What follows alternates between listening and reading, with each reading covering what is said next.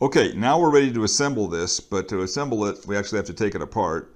So take your uh, small centering ring out of the back. I like to use a motor mount to do that.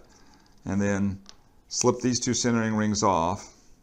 Okay, and now take your your um, spring for your or your piece of steel for your um, engine clip here. Make sure it fits in that slot and slide it down here.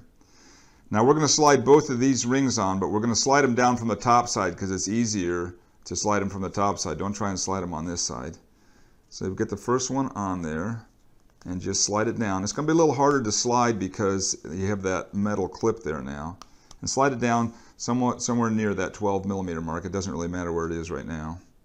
And now the second one, before you slide it on, we need to be sure to put the shock cord on because we want it on the other side of that. So take your shock cord and take the short end where you tied the knot and put it through here. Um, and just you can leave some extra there, it doesn't matter. And then this will be a little harder because you got the shock cord in there, but slide that on there. There we go. And slide that one down so it's over the motor clip. All right. And then you can uh, double check to make sure that this one fits in the top. So that's how we're going to put it all together. There's no glue on it yet, and I don't have these centering rings exactly in the same place.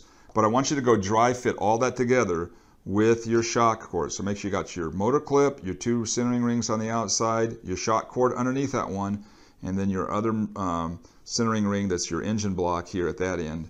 And put all those all together without using any glue. All right, so go do that now.